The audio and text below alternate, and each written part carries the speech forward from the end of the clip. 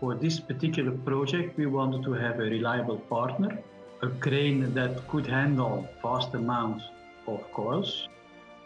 Our idea is to produce or to load the ships with a cadence, with a speed of, let's say, 30, 35 coils per hour.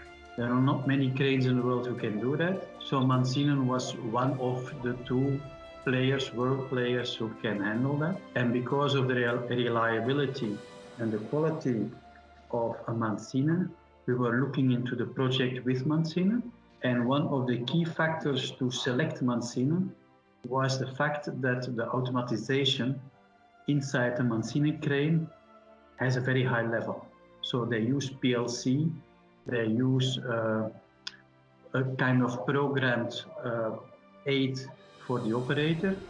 And this is, I think, uh, top leading in the market of this type of cranes.